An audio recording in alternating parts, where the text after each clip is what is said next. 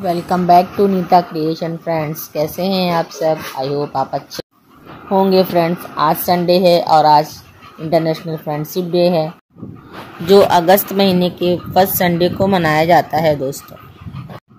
दोस्ती एक बहुत ही पवित्र और निस्वार्थ रिश्ता होता है, दोस्तों. इसी तरह से माँ बाप का रिश्ता सर्वोपरि और निस्वार्थ प्रेम और त्याग का प्रतीक होता है, दोस्तों. माँ बाप सबसे बड़े गुरु और अध्यापक होते हैं। दोस्तों, हर दिन किसी न किसी को समर्पित होता है। जैसे कि मातृपितृ दिवस अभी गुजरा, कारगिल दिवस हुआ, मित्रता दिवस हुआ, और बहुत सारे। इंटरनेशनल टाइगर डे भी आया दोस्तों, जिसमें हम टाइगर की देखभाल करते हैं, और ये हमारा राष्ट्रीय पशु है, इसकी रक्षा करनी चाहिए हमें। इन दिनों का यही मतलब होता है कि हम अपनी प्रकृति से प्यार करें और सब अपने जीवन में सबको सम्मान और प्रेम दें। जो देंगे, वही हमें वापस मिलेगा दोस्तों। और दोस्ती की मिसाल कृष्ण और सुदामा जी से बेहतर कोई नहीं हो सक, हो सकती। जो बचपन से लेकर उनके पूरे जन्म तक चली। दोस्तों, ये एक बहुत ही बेहतरीन उदाहरण है। श्रीमन नारायण भगवान की एकादशी तिथि बहुत ही महत्वपूर्ण होती है। होती है दोस्तों, जिस दिन राधा रानी, माता महालक्ष्मी और तुलसी माता का पूजा पाठ विधि विधान से करना चाहिए तो हमें श्रीमन नारायण की कृपा प्राप्त होती है दोस्तों। 30 जुलाई को इंटरनेशनल फ्रेंडशिप डे था दोस्तों। यानी पूरे विश्व में ये दिन फ्रेंडशिप डे के तौर पर मनाया जाता है।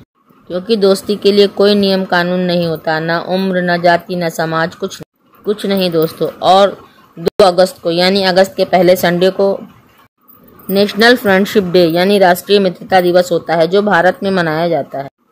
दोस्तों, मित्र कोई भी हो सकता है माता पिता गुरु, भाई, बहन, हमसे उम्र में बड़े भी हमारे मित्र हो सकते हैं, हमसे छोटे भी हमारे मित्र हो सकते हैं।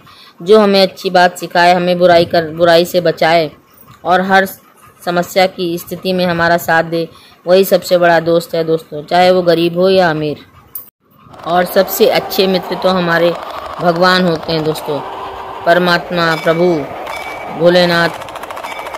मेरे देव आदि देव, इष्ट देव हैं, आराध्य देव हैं और मैं उनको अपना परम सखा मानती हूँ दोस्तों, क्योंकि एक दोस्त ही दोस्त की हर समय मदद करता है और उसके सुख दुख में उसका भागी बनता है।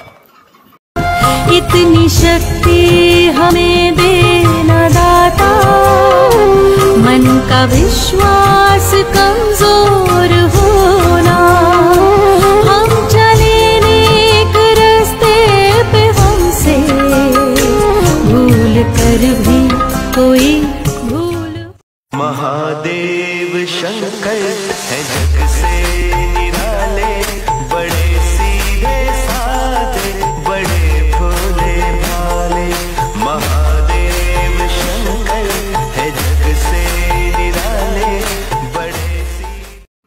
ये दोस्ती हम नहीं तोड़ेंगे, छोड़ेंगे दम, मगर तेरा साथ ना छोड़ेंगे।